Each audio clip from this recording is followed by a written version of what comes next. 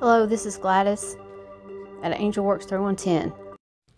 I'm going to be using this deck on my channel for the messages that I do. Hope you guys enjoy. This deck was created by Colette Baron Reid.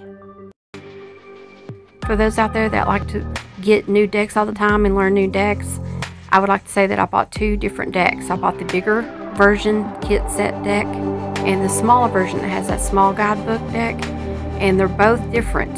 So if you buy both of them, the numbers are going to be different and there's going to be one different card in each separate deck. To find out more about that, just watch the video at the end of this video. It will either be on the screen or at the top right hand side. In both guidebooks, the goddesses are in alphabetical order and the words that are attached, of course, they are not, just so that you know but I am pulling these cards as I do the messages and making videos at the end for those cards that I pull. Thank you guys for watching. Enjoy. The empowerment message is the appearance of the Celtic earth god Danu, who gives birth to magic, pretends the fulfillment of your desires and the fruition of your dreams. Whatever it is that you're inquiring about, Danu gives you her assurance that you're in the process of becoming. Now is the time to trust whatever you have planted, planned, or worked toward is being lovingly birthed.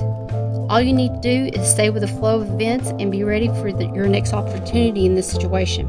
Everything has its perfect season, just as fallow ground carries the promise of new life that appears again in the spring, as if magically bind in the invisible to visible Danu offers her promise of the grounded assurance. The alignment message is that there are days when you wonder if you're on the right track, if your dreams are valid, if you have what it takes to show up and shine. You may hit a dry spell where it appears that nothing is happening and it makes you doubt yourself this time. But when this earth goddess appears, she is reminding you of the promise of new life. Just as fields are often left purposely fallow, perhaps that seemingly dry spell of yours is really a preparation time for you to focus and try to prepare yourself for a new beginning. Under the ground of your visible life lies a stream of abundance that is feeding the roots of the seedling of your intentions planted in your field of dreams. Go about your day to day life with faith.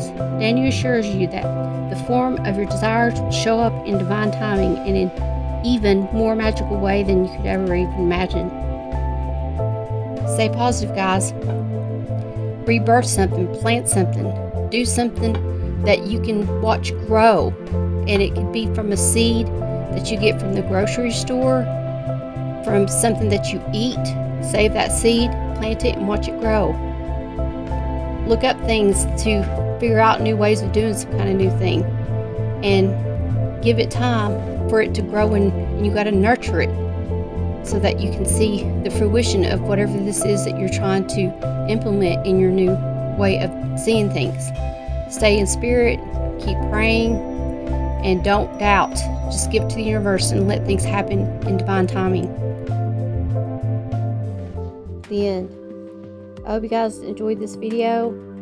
Learn the decks as I do messages I will try to make videos of the decks that I use like this and I will break the video down into in-depth messages of what's in the book.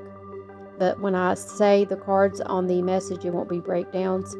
But to get the breakdowns on it you'll have to watch the end of the video to get the special video links that I will post at the end of the videos thank you guys for watching this video. Please don't forget to like subscribe and share my videos.